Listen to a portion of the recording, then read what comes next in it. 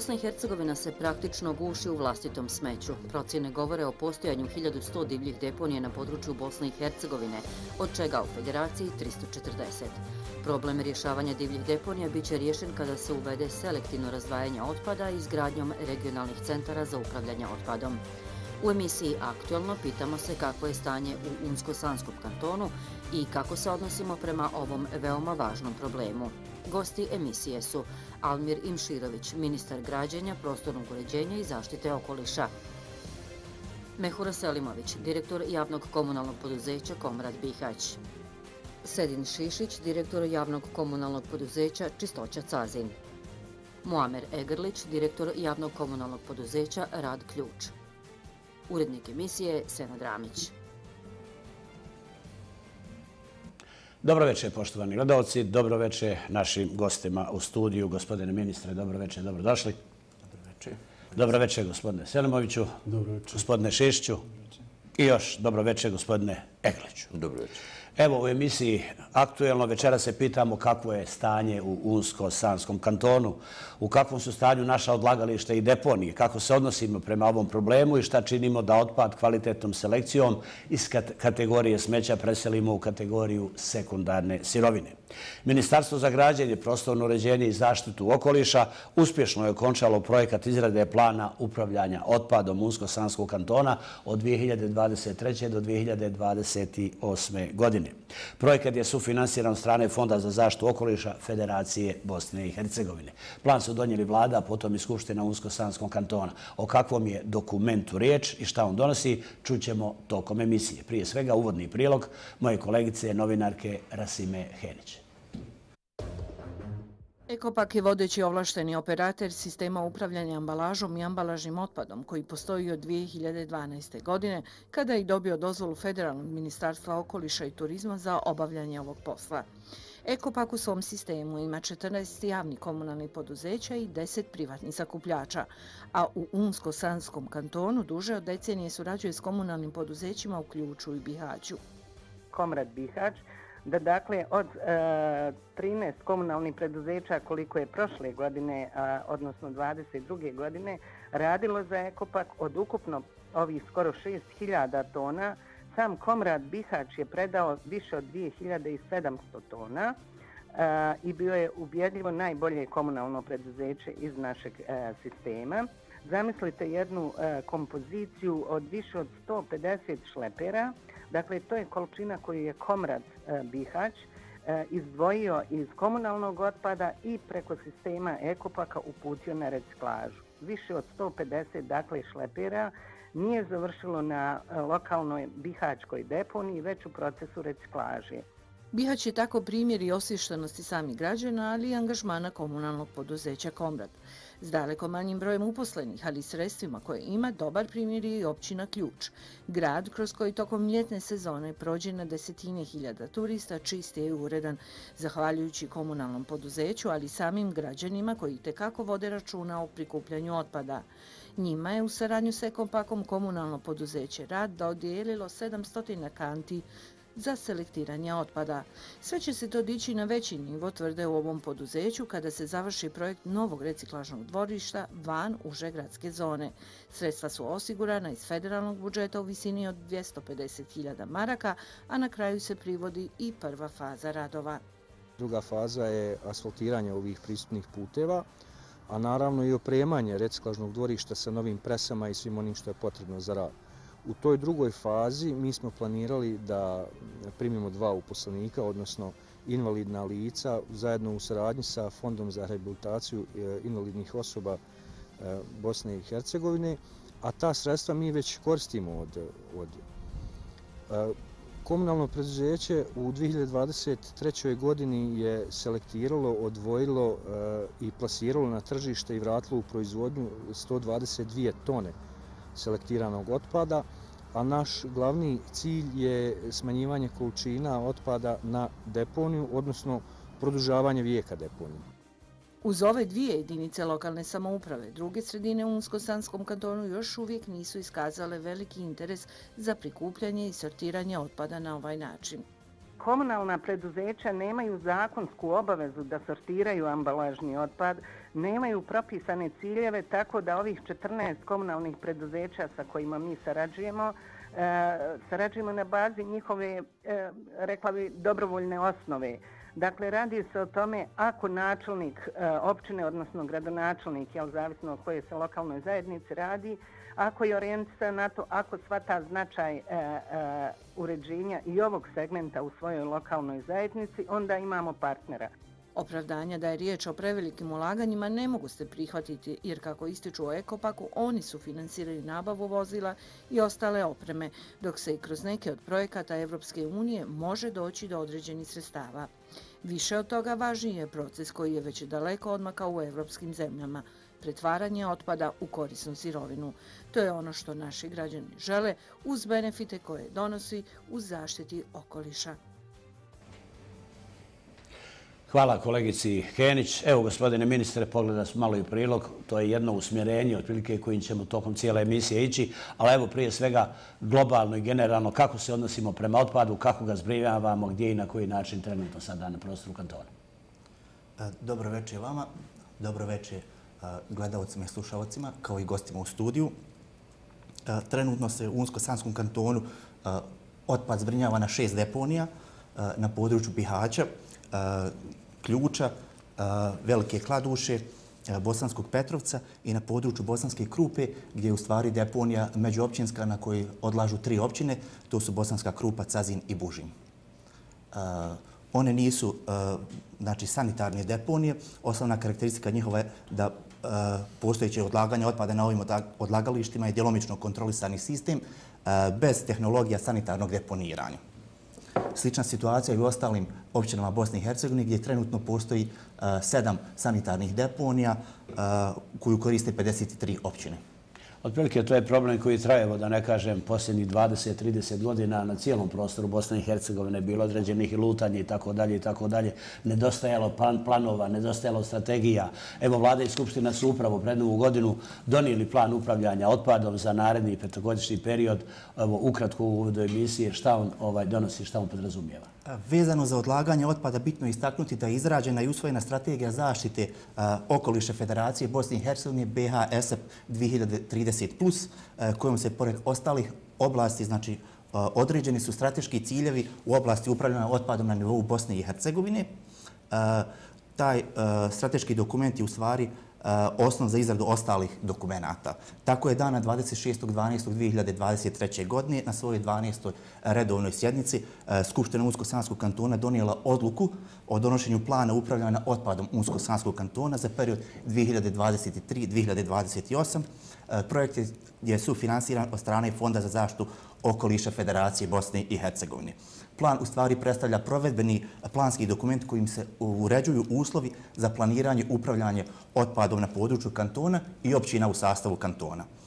Plan definiše preduslove za održivi integralni sistem upravljanja otpadom za razdoblje od pet godina i zasnovan je na principima integralnog upravljanja otpadom koji za cilj ima preventivno djelovanje na nastanak otpada, prikupljanje i razvrstavanje otpada, ponovnu upotrebu, reciklažu i sigurno odlaganje ovako nastalog otpada. Hoće li taj plan biti moguće dostići u tim eh, narednih periodom? Dosta je to ambiciozno. Eh, ako se ne vram, to idemo u pravcu razdvajanja, reciklaže i tako dalje. Ovaj, eh, hoće li komunalna preduzeća na prostoru kantona moći odgovoriti tom zadatku? Što se tiče toga, oni će imati podršku ministarstva, pokušat će se povući sredstva sa viših nivoa kako bi u što boljoj mjeri ispunili zadate ciljeve. Oni neće biti lagani, ali ćemo se potruditi da u narednom periodu pokušamo što više ispuniti te zadane ciljeve. Evo, gospodine Selimoviću, ovaj, ste upoznati s ovim dokumentom, on je svjež, on je tek neki 20 dana u opticaju i tako dalje. Koja je vaša zadaća? Ovaj? Pa, prije što bilo što kažem, također želim pozdraviti sve gledalce i uh, Unsko-Sanskoj televizije i slušalce Unsko radija Unsko-Sanskog kantona. Pa ovaj plan je dobra stvar što je dorešena, jer to je jedan okvirni dokument koji će i ministarstvu e, koje je nadležno za ovu djelatnost, a i nama u preduzećima dati određene smjernice kako e,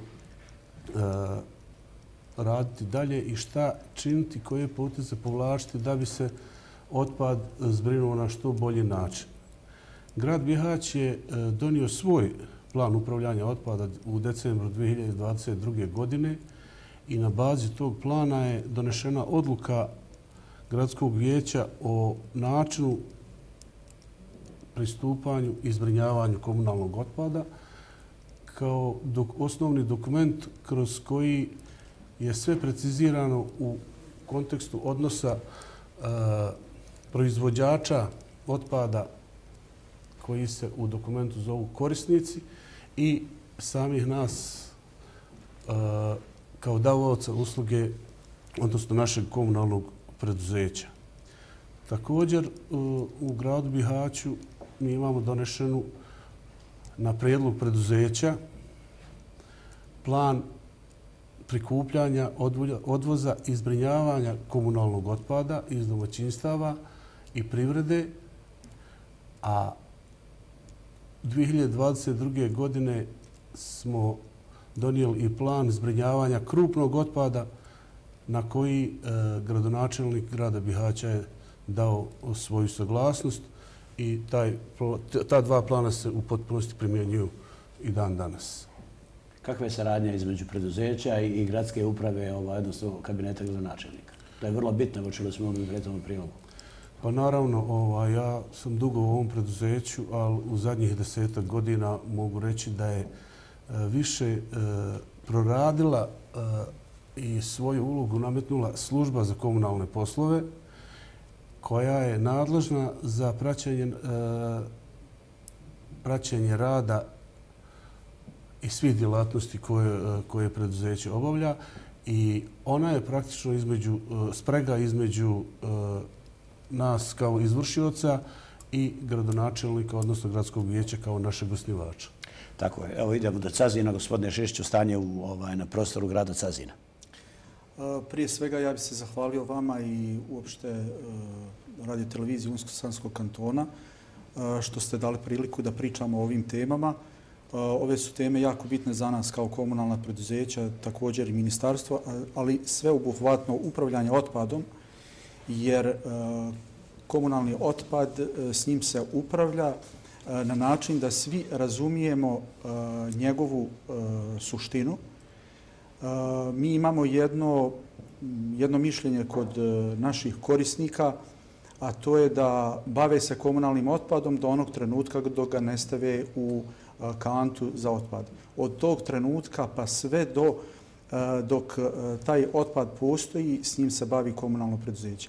Zato nam je jako bitno da se ovakve teme e, često ponavljaju sa različitim dijelovima, segmentima, kako bi svi zajedno što bolje, e, što bolje znali e, ono šta radimo i čim se bavimo.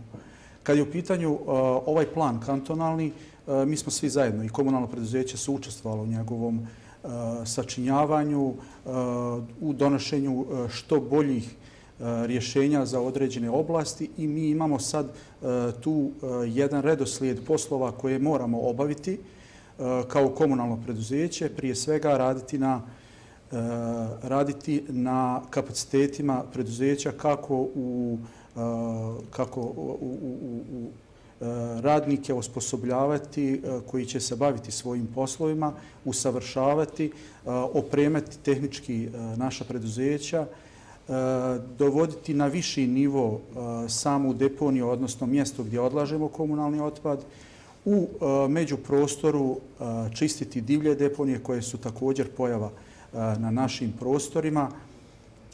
Ovu temu konstantno propagirati i kroz naše stanovništvo educirati šta je to komunalni otpad, u kom e, smjeru on treba da ide, na koji način da učestvuju prije svega proizvođači koji svi zajedno e, plaćaju e, tretiranje komunalnog otpada, zatim mi kao operateri i svi oni koji su direktno vezani na nas.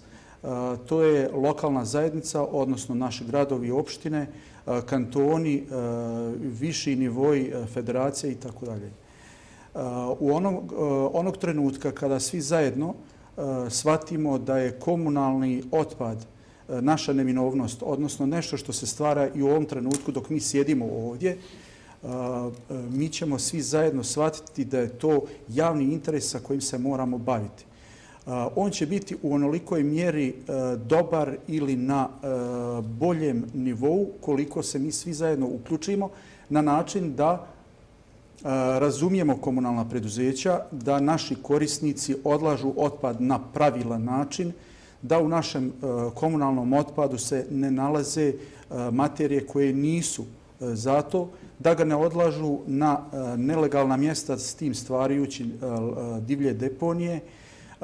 Dalje, mi, naši uposlenici i svi koji radimo s tim komunalnom otpadom, moramo znati koje su naše zadaće, Eh, naše lokalne zajednice su te koje se bave s nama, oni nas tjeraju eh, da radimo svoj posao, a isto tako u određenoj mjer nas i pomažu. Eh, poslovi koji, koji su direktno vezani jesu i, i finansiranje komunalnih preduzeća od strane lokalne zajednice, od strane kantona i tako dalje, gdje mi možemo biti zadovoljni s tim da se uvijek može više i bolje. Naravno, naravno. Idemo do ključa. Ovaj, kako je stanje ovaj, u, u, u ključu?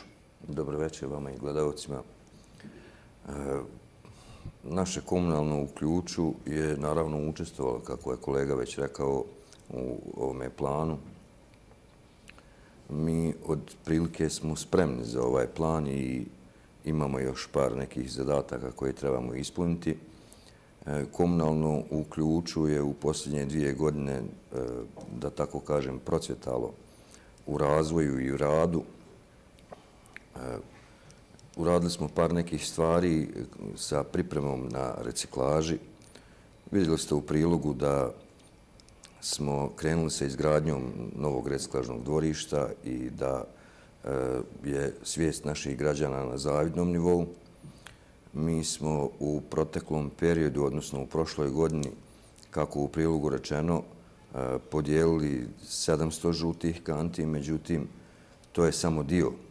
Ukupan iznos e, žutih kanti u tom projektu je bio 2045 i otprilike zatvorili smo taj krug po svim domaćinstvima, odnosno po domaćinstvima koji su stalni korisnici naših komunalnih usluga, jer komunalne usluge u ključu se dijele na, na, na dvije vrste korisnika, a to su stalni i povremeni.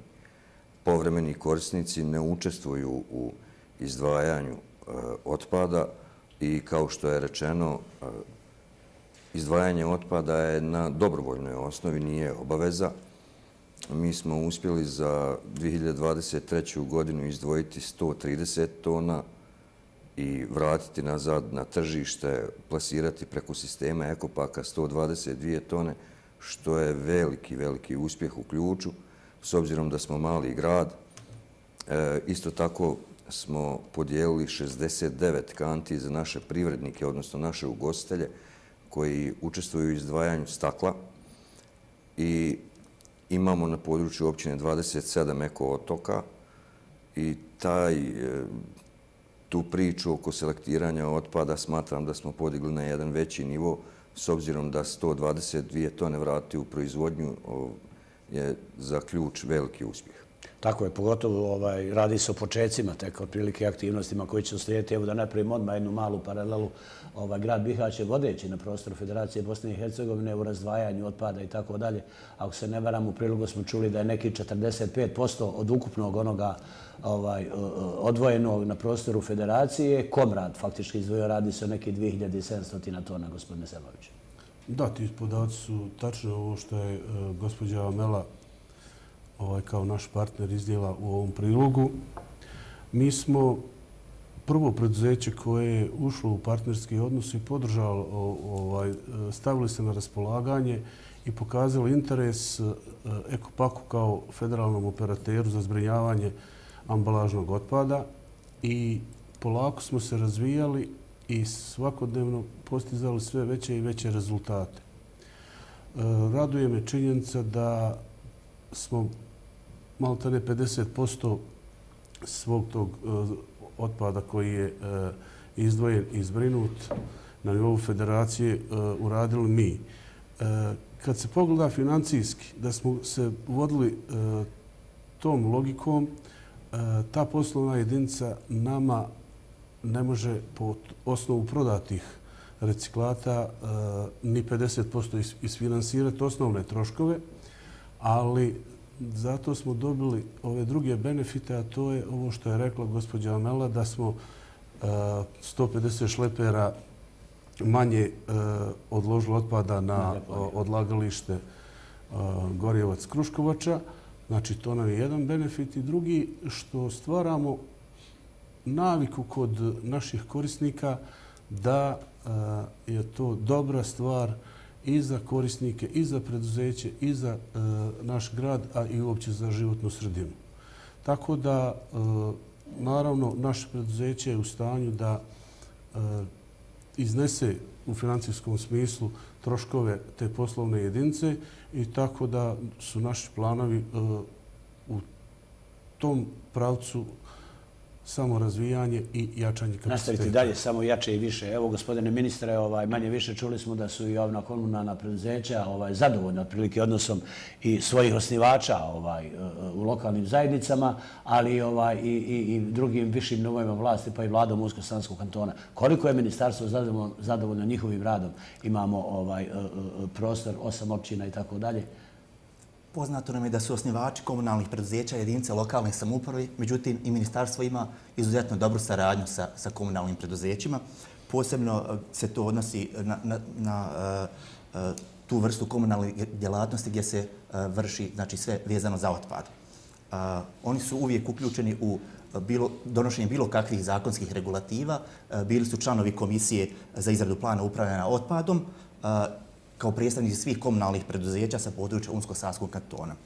E, Komunalne preduzeća su također i e, najveći i najredovniji korisnici e, svih sredstava iz ekoloških naknada koje ministarstvo dodjeljuje putem javnih poziva.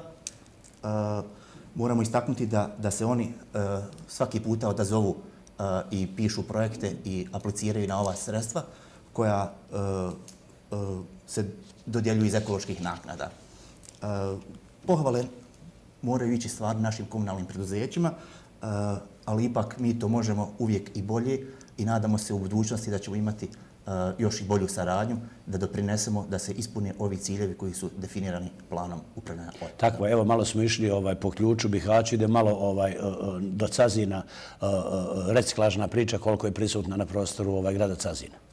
Pa evo, za razliku od uh, ovih komunalnih preduzeća koji imaju uh, sa ekopakom e, saradnju, mi sarađujemo sa ekoživotom. Uh, to je jedna grupacija u, sklopu, u sklopu jedne velikog preduzeća Bingo.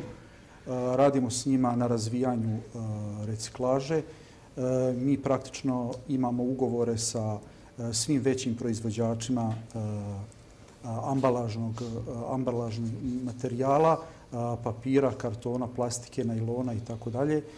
Evo sad razvijamo staklo. To su količine koje mi prikupljamo, pripremamo za Eh, pripremamo za transport i stavljamo ih na tržište. Eh, zaista slažem se sa kolegama koji kažu da to nisu neki benefiti preveliki u novčanom smislu, obzirom da je kod nas sekundarni sirovine su poprilično eh, jeftine. Međutim, naš glavni benefit je upravo da taj komunalni otpad ne ode na deponiju. Ovo je jedan, jedan dobar, dobar način koji se mora razvijeti i on će u budućnosti se razvijeti onoliko koliko budemo ulagali u njega. Sveopće poznata je činjenica da da je najjeftinije kad se gleda u prostom smislu odložiti sav otpad na deponiju. Međutim, u dugoročno to su velike količine na deponijama koje se vrlo brzo zatvaraju. Veliki je proces razgradnje i taj komunalni otpad dugo, dugo stoji na Eh, našim odlagalištima. Eh, svaki dio koji uspijemo zadržati na mjestu nastanka ili eh, uspijemo ga vratiti ponovo u proizvodnju kroz reciklažu, to je veliki uspjeh.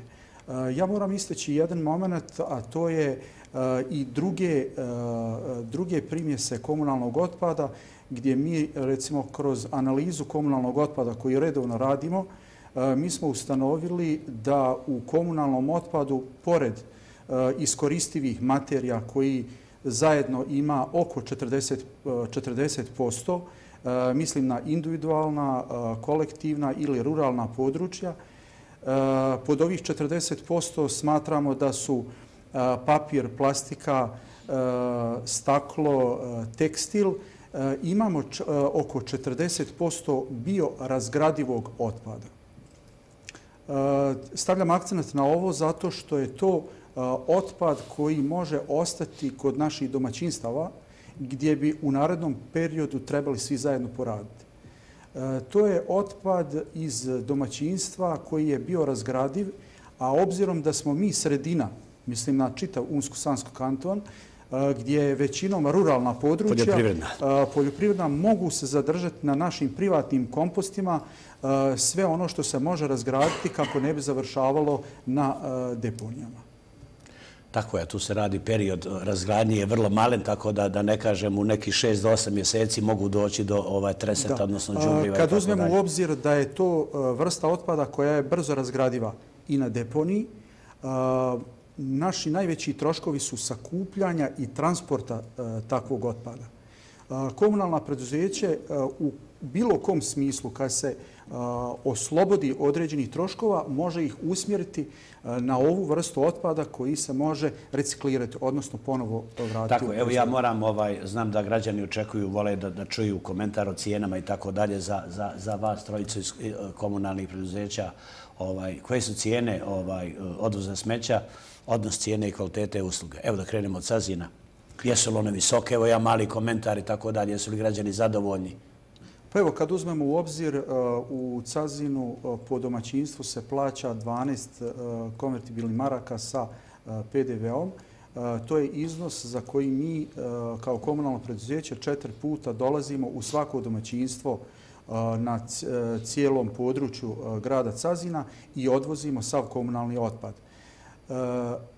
to je e, jedna, e, jedan iznos za koji se mi nastavljamo brinuti o komunalnom otpadu. E, mi ga prikupljamo, odvozimo i stavljamo na odlagališta, odnosno brinemo se s njim znači, do krajnjeg Kako teče naplata?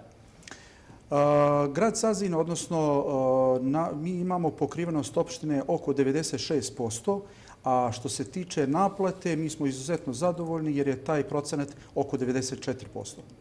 Idemo u Bihać, cijena komrada. Cijena e, odvoza komunalnog otpada u gradu Bihaću je također 12 maraka, znači 10 maraka i 25 feninga je ovaj, bez PDV-a. Plus PDV. E, pa mislim da je cijena zadovoljavajuća i mi u preduzeću pravimo analizu i predlažemo gradskom vijeću e, usvajanje ili ne usvajanje te cijene. Do sad nismo imali nikad problema ali mislim da smo mi i realno ovaj, postavili te parametre i, i za, dobro, uradili dobre analize, tako da nije bilo problema što se tiče usvajanja cijene. A, također, pokrivenost e, odvoza našeg grada je 98%.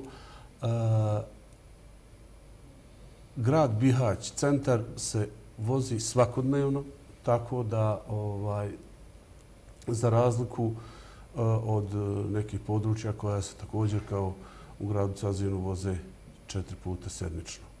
Mislim da, da, da su i naši korisnici zadovoljni i našom uslugom i našom cijenom koja je trenutno na stanju. E, cijene ostalih komunalnih usluga? Pa cijene ostalih komunalnih usluga također mislim da su, da su vrlo realne i optimalne ono da nisu uh, ovaj visoke za naše korisnike.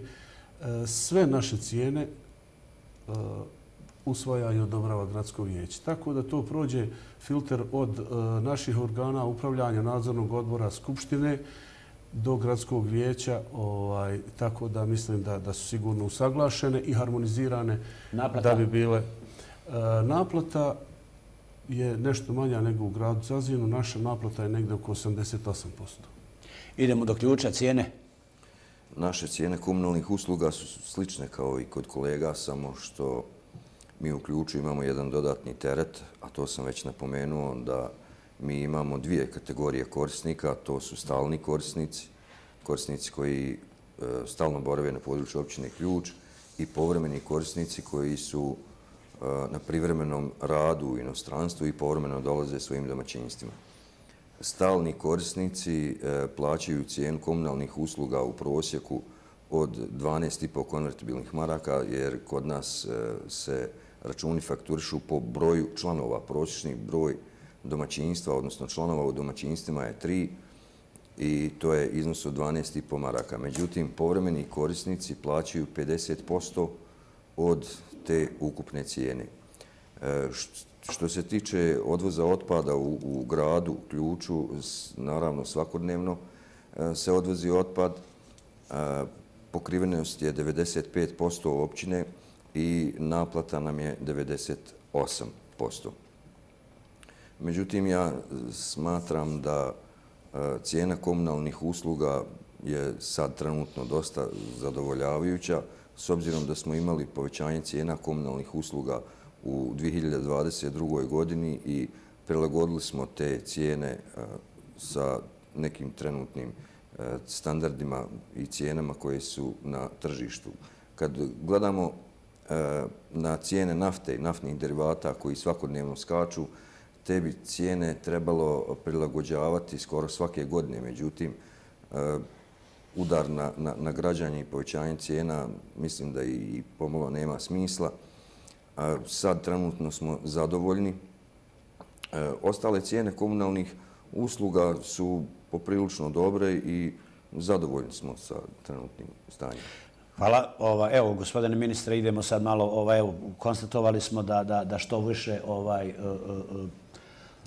razdvojimo, razvrstamo i tako dalje, ovaj, vratimo u proizvodnju, ovaj, recikliramo i tako dalje, da će deponije biti manje opterećene, to će biti, to je najveći benefit u stvari, jer ovaj, otprilike manje više nijedno reciklašno dvorište ne može ni samog sebe isfinansirati u cijelosti, a kamoli da donosi dobit. Dakle, u ovom trenutku je to tako, ali je dovoljan benefit i ovaj gore, jer imamo problema sa, sa ovaj, deponijama, sa svih, evo šest, čini rekli da imamo na prostoru kantona.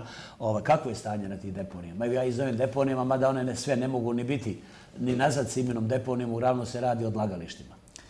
Tako je. Sva ova odlagališta imaju uh, usvojene planove prilagođavanja, što je bila zakonska obaveza u skladu sa, sa zakonom o upravljanju otpadom. Za određena odlagališta podnešen je zahtjev za okolišnu saglasnost, pošto je većini njih istekla uh, dotad uh, okolišna uh, saglasnost koja je vrijedila. Uh, također će ići se u pribavljanje akata o građenju, Bitno je istaknuti da izgradnja sanitarnih deponija, koje nažalost nemamo na našem kantonu, dugoročan proces koji naravno i zahtjeva značajna finansijska sredstva. Mi smo se trudili da obezbijedimo sredstva kako bi se trenutna odlagališta dovela u zavidne situacije, kako bi ih unaprijedili, odnosno uredili ta odlagališta. Za odlagalište Kruškovača, Vaganac i Međere Vlaški do lokalne zajednice imaju pripremljen projekat zbrinjavanja i sanacije, te se isti nalazi i na jedinstvenoj listi infrastrukturnih projekata za sektor životne sredine na nivou Bosne i Hercegovine. O čemu je upoznato i ovo ministarstvo, obzirom da smo mi članovi radne grupe na državnom nivou. Evo da idemo sad ovaj prilike stanje, evo ja kažem Hrgar, međutim ovaj odlagalište ima druga, drugo, drugo ime, malo konkretnije, građana je to Hrgar. Pa, slažem se da je pravo koristiti termin odlagalište, mi nemamo sanitarne deponije. Naše odlagalište se nalazi na, na lokalitetu Kruškovača u rejonu Gorjevca. To odlagalište je aktivirano negde oko 1997. godine i traje do danas. Kako je ono, stanje na njemu? Stanje je takvo da mi u preduzeću činimo sve da e, odradimo određene stvari koje se rade i na sanitarnim deponijama. Naravno, ono nema onu potrebnu dokumentaciju i, i, i upotrebnu dozvolu da bi se kategorisala u sanitarnu deponiju, ali to nama E, ne brani niko da mi e, činimo da održimo stanje što bolje i da radimo elemente neke koji su se rade i na sanitarnim deponijama, to je od praćenja odvodnih voda, e, zatrpavanja tijela deponije inertnim materijalom i činimo sve da aktivno tijelo deponije bude što manje i s time smo ovaj, preduprijedili i eventualne požare i naravno lakše je upravljati sa e, manjim tijelom deponije. Tako da cijenim da je, da je stanje na, na deponiji Gorjevac zadovoljavajuće. Činit ćemo i, i, i u buduće isto potrebne elemente i stvari koje, koje će e, stvar dizati na viši nivo koliko može otprilike ozbirom da živimo jedan snažan ovaj urbani život ovaj sa, sa svaki dan sve više otpada iz svakog domaćinstva i tako dalje koliko to odlagalište može izdržati u budućnosti? Pa e, mi smo pravili i tu procjenu i mislim da grad Bihać uz e, minimalna ulaganja koja bi trebalo raditi još dodatno na deponiji možemo sigurno od 15 do 20 godina ovaj, još odlagati otpad e, na, na tom lokalitetu, sigurno. Ukoliko se bude vodilo računa, reda i tako dalje, i povremene sanacije, potrebno sve ono što treba.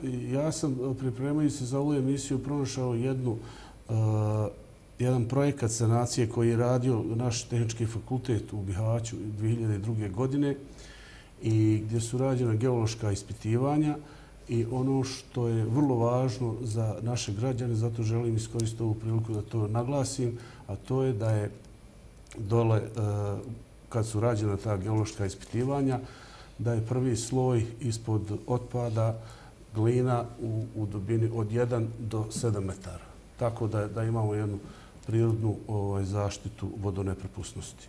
Idemo do odlagališta Meždre Vlaški do. Ovaj, e, e, e, grad Sazin to dijeli sa Bosanskom Krupom i ovaj, Bužimom. Od proteklom vremenu, proteklih godina, bilo je žila kucavica, da ne kažem na neki način. Ovaj, bilo je dosta i problema između općina, lokalnih zajednica, jednih, drugih, trećih. Da li mogu odlagati, da li ne mogu? Kakvo je stanje danas? Pa, deponija, odnosno odlagalište Meždra Vlaški do je e, prostire se na nekih 30.000 kvadratnih metara. E, s njim upravljaju tri komunalna preduzeća iz navedena tri, e, tri lokalne zajednice. E, komunalna preduzeća kao operateri mi nemamo e, tu e, nikakvih problema u, u, u komunikaciji i u, u našim, našem partnerskom odnosu. To je e, odlagalište koje je vrlo slično svim ovim odlagalištima na ovom regionu, odnosno u Unsko-Sanskom kantonu. Ono se e, odlagalište do odlagališta se nešto malo razlikuje u toj infrastrukturi, koliko je ko uspio e, nešto da pribavi, da organizira. Ono što možemo isteći jeste da smo, zahvaljujući višim nivoima i resornom ministarstvu kantona, Unsko-Sanskog kantona, uspjeli smo u zadnje vrijeme ograditi e, deponiju. Uspjeli smo napraviti pristupne puteve, manipulacijske i požarne puteve oko tijela deponije.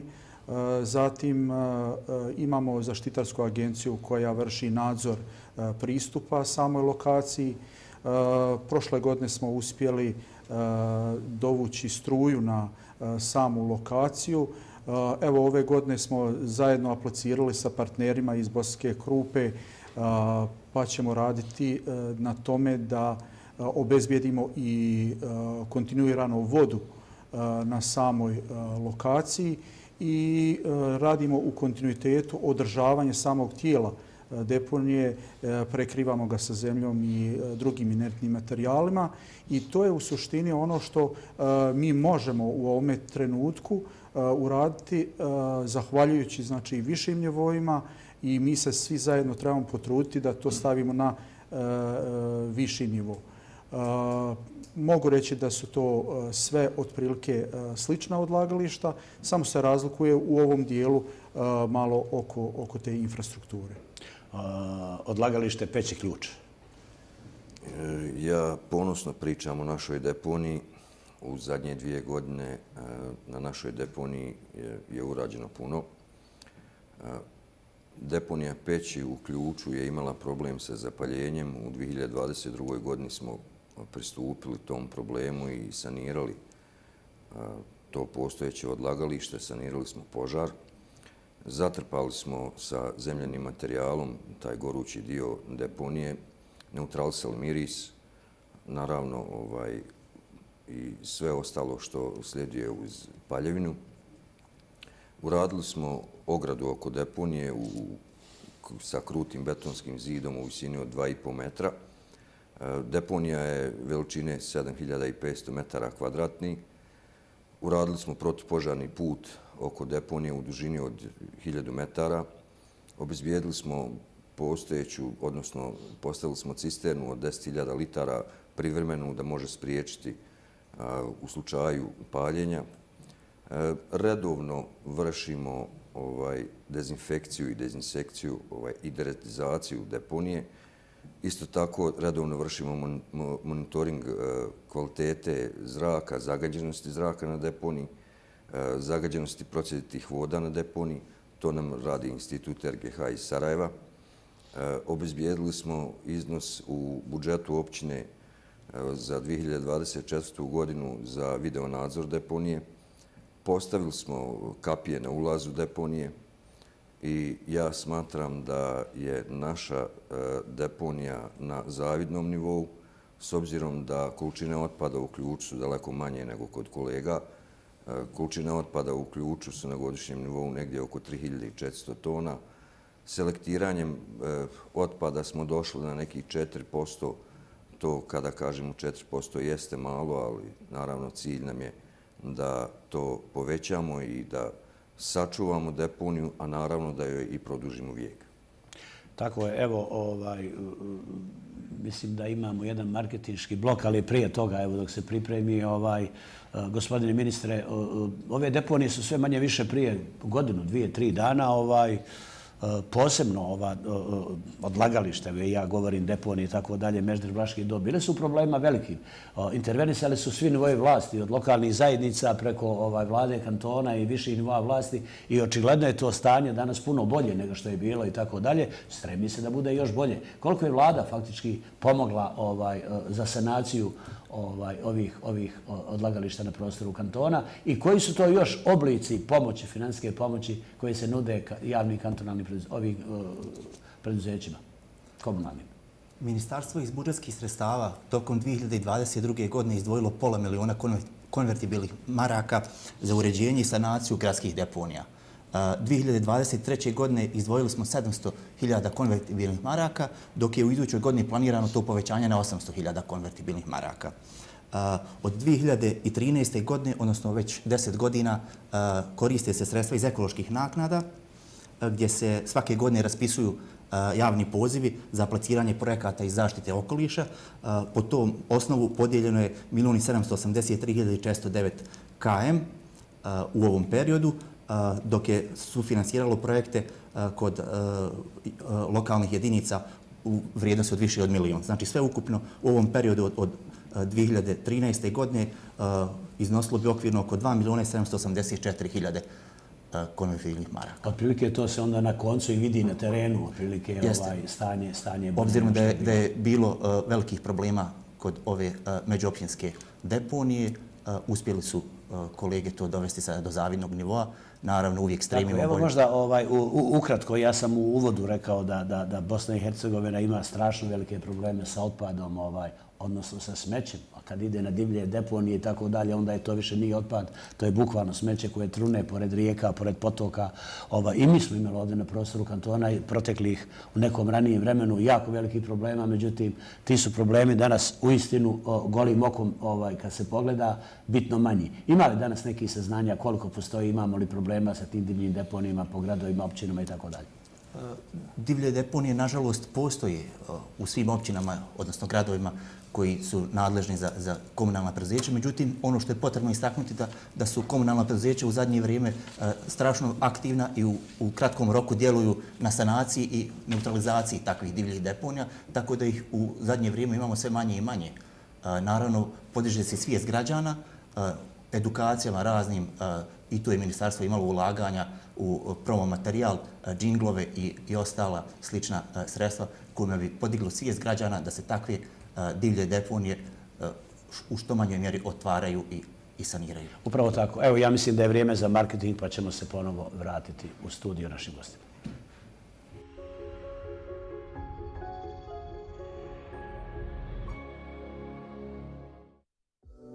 Pouzdani partner koji odgovara na sve zahtjeve i potrebe kupca. Berlina Bihać.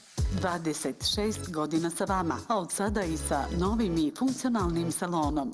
Berlina, ovlašteni trgovac novih Volkswagen vozila, ovlašteni servis za Volkswagen i Audi, prodaja rabljenih vozila sa garancijom te originalnih dijelova i dodatne opreme. Berlina posjeduje rentakar, autolakirnicu, punionicu za električna vozila, a možete obaviti i proces homologacije vozila. Berlina Bihać, garancija kvalitete kupovina, prodaja ili iznajemljivanje nekretnina, obratite se našim stručnim agentima koji će vas vjerno, pouzdano i efikasno voditi kroz proces posredovanja u prometu nekretninama. Stručnost na koju možete računati Agencija za nekretnine Hills. 22-godišnja tradicija uspješne proizvodnje. Najpoznatiji smo na području Unsko-Sanskog kantona po kvaliteti i proizvodnom programu aluminijske roletne, komarnici, trakaste i zebra zavijese, tende i kamionske cerade, rolo i sekciona garažna vrata, klizni i stakleni sistemi. Asortiman proizvoda i usluga pogledajte u izložbenim salonima u Turiji, Cazinu i Bihaću. Ugradnja i servis na području Bosne i Hercegovine i zemalja Evropske unije. Baš SMM. Škoda Octavia, višedecenijski BH bestseller. Iskoristite jednu od dvije fantastične pogodnosti koje ostvarujete kupovinom najprodavanijeg vozila u BiH. Beskamatno finansiranje putem Porsche Finance Group ili bonus od 3000 KM. Više informacija potražite kod najbližeg ovlaštenog Škoda partnera ili na škoda.ba. Una Auto, ovlašteni Škoda trgovac, put armije Bosne i Hercegovine, Bihać. Vaše zdravlje je naš prioritet. B-Farm apoteke u svim gradovima Unsko-Sanskog kantona. Širok izbor dodataka za prehranu, dermokozmetike, medicinskih pomagala. Posebna pogodnost. Svake srijede popust do 15% na sve preparate, a petkom popust od 20% na naše B-Farm preparate. Za zdravlje i ljepotu birajte apoteke B-Farm.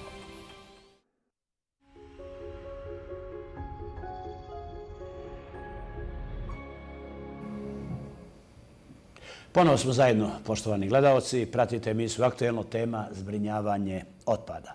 Evo, gospodine ministre, otprilike privodimo, imamo nekih još 7-8 minuta do kraja. Kako trajno zbrinjavati otpad u budućnosti? Govorili smo o reciklažnim dvorištima, govorili smo i tako dalje, međutim, još puno toga je ovaj, ostalo ovaj, izvan tog prostora dvorišta. To treba biti temeljeno na načelima održivog razvoja i to na principima preventivnog djelovanja na nastajanje otpada, prikupljanje i razvrstavanje nastalog otpada, vrednovanje otpada, odnosno ponovna upotreba i reciklaža i naravno sigurno odlaganje otpada koje na kraju treba da zaštiti i okolinu i građane našeg kantona. Prije nekih, evo, 20 godina imali smo priču o regionalnoj deponiji, taj priča je bila dobro podmakla, dosta je novaca uloženo, potrošeno i tako dalje. Na kraju se ta priča raspršila, od toga se definitivno dostalo. Koji pravac djelovanja je onaj naš koji ćemo slijediti? Federalna strategija je ostavila otvorenu mogućnost e, da se riješi na kantonalnom nivou. Da li će to biti e, općinski nivoj, međuopćinski ili regionalna deponija, znači sve mogućnosti su ostavljene otvorene. Prema nekim ovim informacijama iz plana, ovakav način međuopćinskih deponija je najpraktičniji, ekonomičniji i najjednostavniji za održavanje. Evo, gospodine Selmović, u vaše mišljenje u kom pravcu treba ići? Pa mislim da trebamo jačati ove svoje kapacitete koje mi sad imamo i da trebamo raditi i ulagati što više u postojeće deponije, da njih e, opremimo, održavamo i da ih malte ne e, činimo sanitarnim deponijama, bez obzira što one nemaju ovaj, e, zvaničnu dokumentaciju i ne mogu se nazvati kao takve. To je po meni projekat koji je bio na kantonalnom nivou, trajao je 16 godina, rezultati su nula. Na kraju je, e, mislim da je, da je Skupština Unsko-Sanskog kantona rasformirala to preduzeće. Tako je ovaj, u, u stečaju? Tako da, da je to, nažalost, bio jedan promošen projekat. Da se je moglo to realizirati, bilo je u, u startu dobro postavljena ta infrastruktura od formiranja preduzeća, e, organa upravljanja, direktora i uposlenika koji su tu funkcionisali i oni su činili određene poteze, međutim nije se to moglo usaglasiti. Ovo što je ministar isto rekao, ta, ta, ta međugradska saradnja, evo, deponija Meždre je na, na dobar način e, rešila problem e, zbrinjavanja otpada za tri općine i to treba nastaviti tako dalje. Tako je. Evo ovaj, mišljenje, gospodine Šišiću, vaše. I što ćete vi raditi, kako su vaši otprilike planovi? U svakom slučaju se slažem sa kolegama.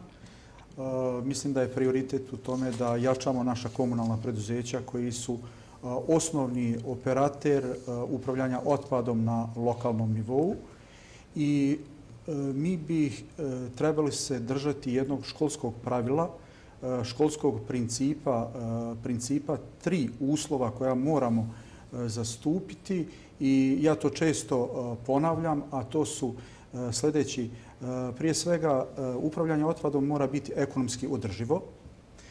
Druga stvar, mora biti minimum ekološki standardi zadovoljeni. I treća stvar, naši korisnici moraju biti spremni i mogući da plaćaju način upravljanja otpadom koji mi organiziramo. Ako bilo koji od ovih dijelova izostavimo, upravljanje otpadom je osuđeno na propast. Onda smo problem. Da. Idemo u ključ. Pa, mi smo mišljenja da trebamo svakako jačati svijest građana kod selektiranja otpada, izdvajati veće količine otpada u selektiranju, naravno ulagati u postojeće deponije. Naše deponije nisu sanitarne kao ni kod kolega, ali nisu ni divlje. Naše su deponije dobro kontrolisane deponije, ja lično smatram da vrijedi ulagati u njih i nastaviti ovakvim radom e, zajedno u saradnji sa ministarstvom, sa Fondom za zaštitu okoliša i nadam se da će to biti pravi put. Evo, otprilike, negdje ja sam listajući pripremiti također za ovu emisiju ovaj, e, e, e, pratio otprilike kako to radi razvijeni svijet. I otprilike mi sam našao Ljubljanu koja kaže da je ona, ovaj, kad su pitanju reciklažna dvorišta i tako dalje, da je možda daleko ispred svih evropskih gradova otišla i tako dalje. Je li to, gospodine Selinoviću, naš putokaz? Ovaj, evo, malo čas smo čuli u, u, u općini Ključ da je to 4% od ukupno prikupljenog u Bihaću, je to više, ali opet je to daleko od tako dalje. Kakvi su planovi kada u pitanju reciklažno dvorište, kada u pitanju da li se ti kapaciteti dodat mogu povećavati, da li ta žuta kanta može doći do svakog u budućnosti domaćinstva ovaj, u gradu Bihaću i tako dalje. Kako su planovi? Pa naši planovi su upravo na, na, na, na tom fonu. E, najlakše je upravljati otpadom na mjestu nastavnika. Naša politika bi trebala biti i da nastojimo se približiti našim korisnicima, da i nastojimo obezbijediti minimum e, uslova da oni mogu prihvatiti tu ideju i mi smo uradili jedan pilot projekat u jednoj mjestnoj zajednici gradskoj, to su Luke, gdje smo uz pomoć ekopaka e, dostavili i podijelili 200 žutih kanti i mogu vam reći da sam ja lično zadovoljan kao prvi čovjek u preduzeću, zadovoljan rezultatima i kako su građani odgovorili. Ima duše i, i jedan manji procenat, možda 2 do 3 posto građana koji su zloupotrebili te posude i koji smo mi prateći ovaj, njihove aktivnosti mi smo povukli te posude. U našim planovima je da nastavimo tu politiku i da idemo prema svim mjestnim zajednicama. Naravno, to je proces koji neće se desiti za godinu dana, ali se može desiti za pet godina gdje ćemo ovaj, obezbijediti adekvatne posude da naši korisnici na mjestu nastanka razdvoje otpad, gdje ćemo mi ponovo planiranom dinamikom eh, pokupiti taj otpad, odvesti u reciklažu i izvršiti selektiranje. Također, u preduzeću smo ovaj obezbijedili i zemljišne kapacitete za proširenje reciklažnog dvorišta, gdje ćemo sigurno u budućnosti raditi na tom da će naši građani moći, pogotovo kad je u pitanju ovaj e, krupni otpad, moći dovesti svoj otpad i odložiti ga bez ikakve naknade, a mi ćemo dalje e, izvršiti selektiranje, ono što je korisno iskoristiti, ono što nije za upotrebu, naravno, odložiti na deponiju. Planovi javnog komunalnog prezeća, čistoća, cazin, Znači, ponašat ćemo se u skladu sa e, planom upravljanja otpadom Unsko-Sanskog kantona. E, naše, e, naše dokumente na nivou grada Cazina ćemo prilagoditi ovom propisu u skladu sa zakonima koji su važeći. Nastavit ćemo opremati komunalno preduzeće, kako ljudski resursi, tako i tehnički. Kad ste spomenuli neke centre, spomenuli ste centar u Ljubljani, to je CERN E, u kojem sam e, lično bio. E, to su centri koji su zaista gigant, nešto čime se Ljubljana i Slovenija mogu pohvaliti, s tim da nama kao lokalnim zajednicama našeg, našeg karaktera mi bi trebali u tim razvijenim zemljama naći ekvalent koji je otprilike nama sličan pa se s njima na neki način porediti. E, dobro je učiti od sredina koji to dobro rade, e, prilagođavati se i ono što je e, po meni jako bitno jest ta edukacija stanovništva, edukacija školske, predškolske djece. Ono što mi radimo kroz april mjesec čistoće Eh, jest da pokušavamo animirati i uključiti učišćenje divljih deponija, bilo kakve aktivnosti u prirodu, eh, sva moguća udruženja, sportska udruženja, eh, znači školske, preškolske uzrasta i tako dalje i na takav način držati aktuelnu priču oko upravljanja otpadom, ali uopšte i o zaštiti životne sredine. I planovi ovaj, javno-komunalno prezeća, rad, ključ?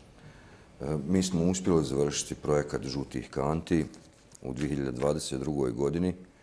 Ovo što je kolega Mehura kazao da je bit i cilj e, preuzeti otpad na mjestu nastanka, odnosno na kućnom pragu. E, naš cilj je završiti reciklažno dvorište do kraja 2024. godine, sačuvati svakako deponiju, produžiti joj vijek i boriti se za opstanak s obzirom na e, minimalne plate u komunalnim preduzećima, ne samo kod nas, nego u većini sa odlaskom stanovništva iz područja ključa e, i svemu ostalom što nas čeka. Tako, i evo za kraj, gospodine ministre, ovaj, planove ministarstva vezano za ovu temu za zbrinjavanje otpada. U 2024. godini ministarstvo e, će se prvenstveno baviti projektima vezanim za zakonsku regulativu. To su izmjene i dopune zakona o komunalnoj djelatnosti gdje su već upoznate jedinice lokalne samouprave i komunalna preduzeća koncept zakona će ostati isti s tim da će se mijenjati odredbe koje prave komplikacije. Posebno se to odnosi na komunalne naknade. Tako, evo, gospodo, ovaj, e, e, e, ovih naših 60 minuta je ovaj, isteklo. Evo, ja se nadam da su otprilike na neki način doteknuli, dotaknuli, ovaj, ne možemo elaborirati ništa, nije ni to, ni, ni, ni naum bio i tako dalje, ali da smo dotaknuli sve ono što je najbitnije kad je u pitanju zbrinjavanja otpada i tako dalje i da smo ovaj, uspostavili jednu dobru ovaj, vezu sa našim građanima. Naravno, ovo, ovo su teme ovaj, koje život znači ovim ljudima i tako dalje i bit će u narednom vremenu dovoljno ovaj, novog prostora i novog vremena odvojenog za naše gledalce i za ove teme i za ove slične teme i tako dalje. Hvala vam velika na vremenu odvojenom za naše gledalce i televiziju Unsko-Savskog kantona. Hvala vama, poštovani gledalci. Pratili ste još jedno izdanje emisije Aktuelno. Ponovo smo zajedno za sedam dana. Do gledanja. Thank you.